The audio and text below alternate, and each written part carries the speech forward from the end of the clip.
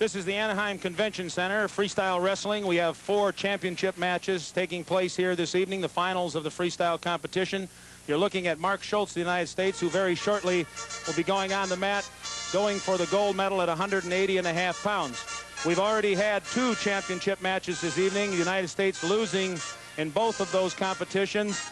Dave Schultz is a very strong, or Mark Schultz rather, is very strong, very tough, very competitive, and he's dominated most of his people here. I asked him earlier how it felt to win so decisively.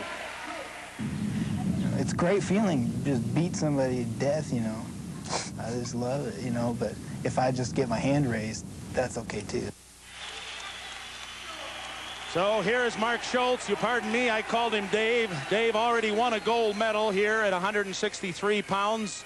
Mark Schultz, I'm sure, would like to duplicate that feat here. Here's his